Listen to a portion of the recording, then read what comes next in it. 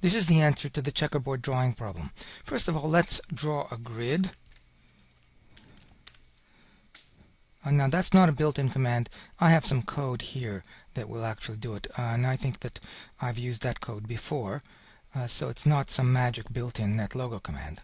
Uh, let's paint the central uh, patch, which should be white on our checkerboard. Let's paint it red so that we know where it is patch 0, 0, set p color to red.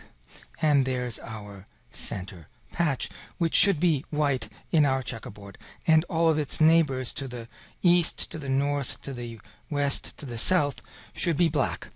Um, what we're looking for is some characteristic of all of the patches, all the white patches, all the white squares of the uh, checkerboard so that we can test for that particular characteristic and just paint those particular patches white.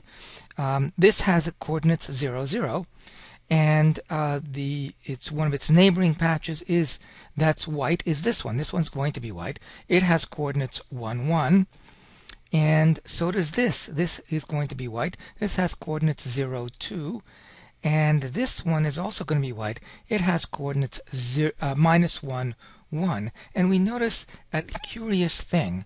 If we take a look at the coordinates, if we add the two coordinates together of only the patches that are supposed to be white, the sum of their two coordinates is even. And that's the characteristic we're going to do.